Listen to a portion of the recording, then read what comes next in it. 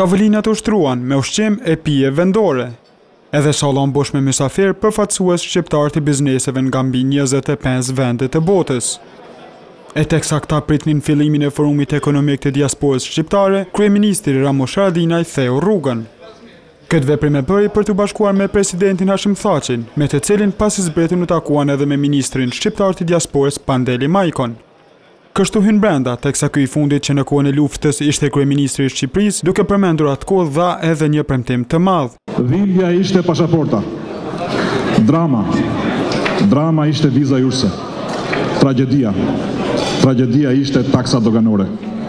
Ne të krahut tjetër nga Shqipëria po ju presim. Në një janar të vitit dy mijë e tetëmbëdhjetë. Vitit të Skënderbeut, të hapim kufijtë. Sipas tij, ky është qëndrim i ekzekutivit shqiptar.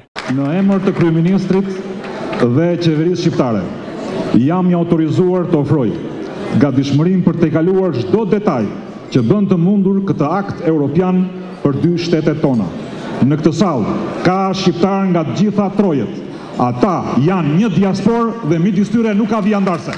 Për shqiptarët brenda e jashtë kufirit foli edhe presidenti i Kosovës, Hashim Thaçi, i cili tha se këso takime të biznismenëve nuk do të organizohen vetëm në këto dy shtete. Vitin e kaluar, po në këtë kohë, së bashku me kryeministrin Rama, Filluam të institucionalizojmë këto takime ishim vitin e kaluar në Tiranë, sonte jemi në Prishtinë, shpresoj dhe besoj se edhe vitin e ardhshëm do jemi ose në Shkup apo në ndonjë hapësirë tjetër ku jetojnë shqiptarët. E kryeministri Ramush Haradinaj me një krahasim interesant. Tregoi rëndësinë që këta biznesmenë nga diaspora kanë.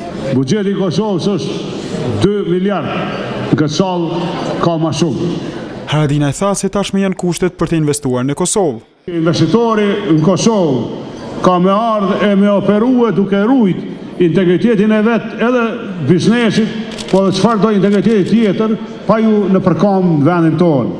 Krejt këto u folën në Forumin Ekonomik të Diasporës Shqiptare, i organizuar nga Rrjeti i Bizneseve Shqiptare në Diasporë dhe USAID, derisa me njëzet e gjashtë nëntor në ditën e dytë të saj, bizneset do të kenë mundësi të flasin e planifikojnë me njëra-tjetrën.